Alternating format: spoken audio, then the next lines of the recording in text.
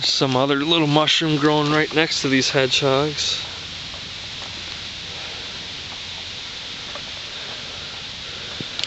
And it has gills.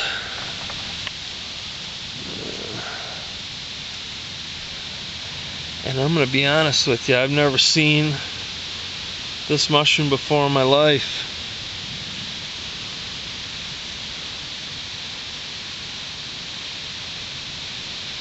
It appears to have little uh, fine felt-like hairs, black hairs on the cap. And it has gills that are close, very close together.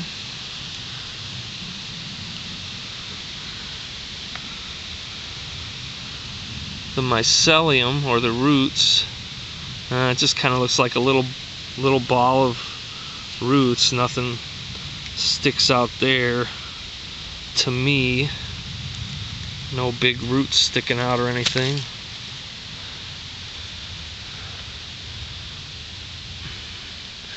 When I cut that stem it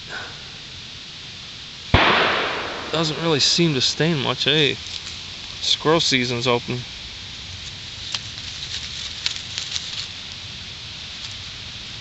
slice it in half in a cross section and just kind of look at it and see if it stains any colors or anything. I don't really think this one is going to. It might get a little darker is all. But it's always nice to check.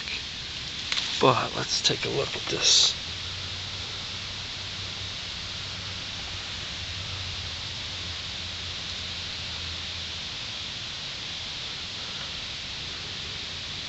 It's nice to cut in a cross section because you can see the way the gills attach to the stem and a lot of times that's an important feature for mushroom identification.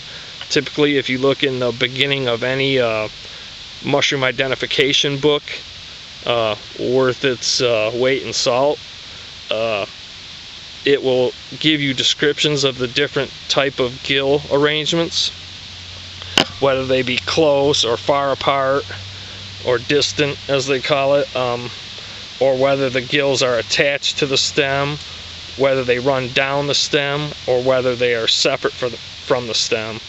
Uh, you get a lot of good information from reading the beginning of those field guides and stuff because that's where it teaches you how to go about identifying these uh, plants and mushrooms typically but I have no idea what that is but I have some good features and I've taken some uh, nice uh, detailed macro shots of the cap and stem and such and gills. And the habitat here looks like it's you know it's growing in oak and beech and maple. But uh, I'm gonna go home and uh, reference these pictures and stuff and this video and uh, see if I can't maybe identify this. I'm not too concerned with finding out what it is because I've never found it before and there's only two of them. So uh, it's probably not a, a, food source because it's not very abundant. But uh, it's kind of neat to find out what these things are. I think uh, I kind of enjoy that more about getting out in the woods about getting out in the woods and uh, fields and just identifying and uh, discovering all the different plants and animals and stuff. And I kind of I get a lot of enjoyment out of uh, just doing that really.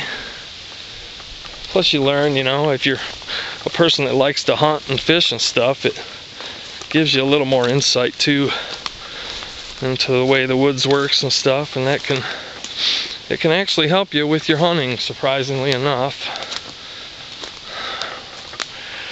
When you uh, look at the woods as a, a source of food or shelter or whatever it may be, um, you, you kind of look at it the same way the animals do, and then that's where you get your insight because you start seeing the the woods and the fields uh, a little more in the way like an animal would, you know, so you can kind of relate to them better and get an idea of the travel routes and stuff and why they move from one spot to another or why they're out in the morning versus the middle of the day or whatever it may be.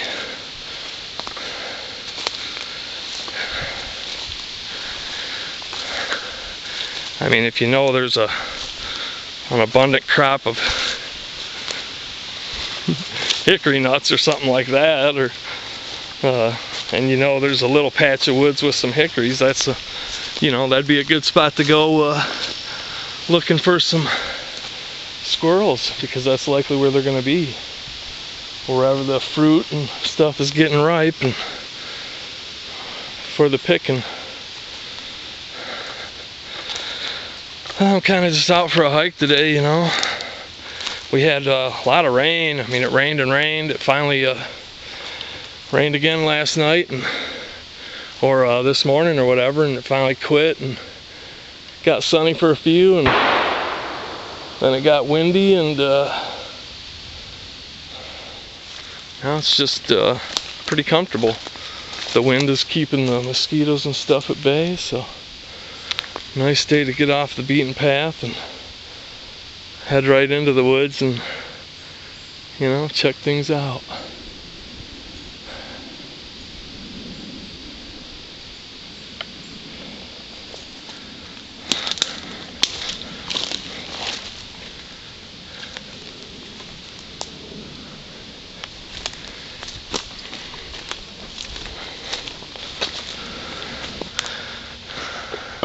If you know any uh, mycological societies or uh, sometimes there's groups and stuff in the area that have forays and get-togethers. You can learn a lot by going on uh, hunts, or as they call them, forays for mushrooms. I kind of just call it a mushroom hunt. I don't really like calling it a foray, but that's, I guess, the proper terminology.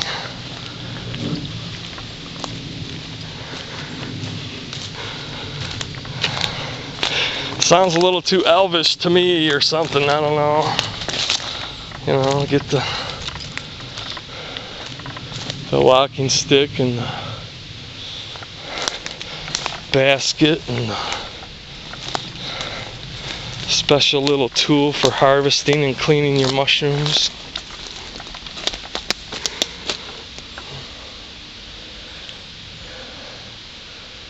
That's my special tool for doing all that stuff and more. I got a toothbrush at home for cleaning mushrooms if I need to and uh, some other plastic brush that's used for auto parts or something. Of course, it was never used for auto parts or anything. Those two work together well to get any bits of dirt or sand or whatever out of your mushrooms.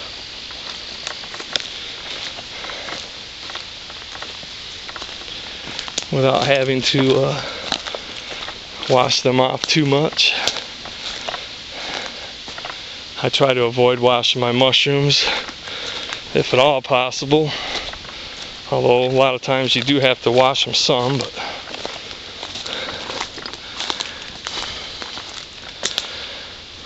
the more you wash them, the more the flavor gets leached out, the more waterlogged they become. Even though there are experts who disagree with that.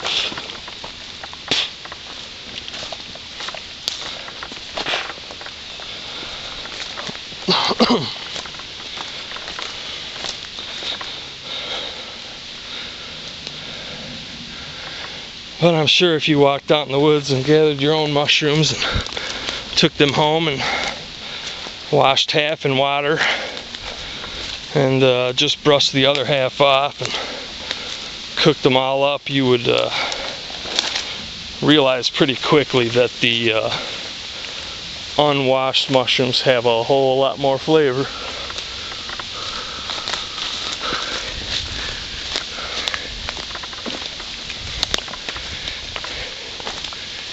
Oh man, what is this?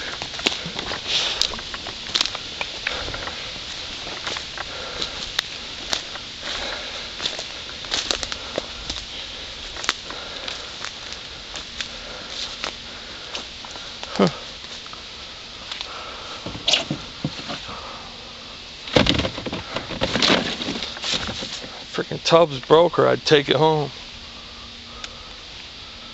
This is all just plastic. Ice. Looks like all ice. And some black plastic bags. Hmm. I don't know what that was all about. This guy over here with the shotgun, I mean. Must be hunting leaves. Hmm.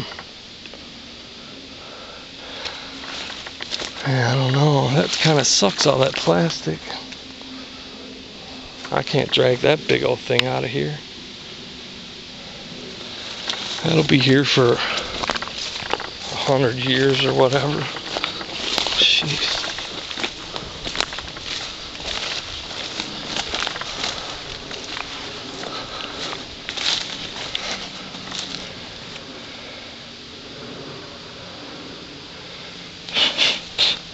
I think I'm going to grab up these plastic bags and get rid of that anyway.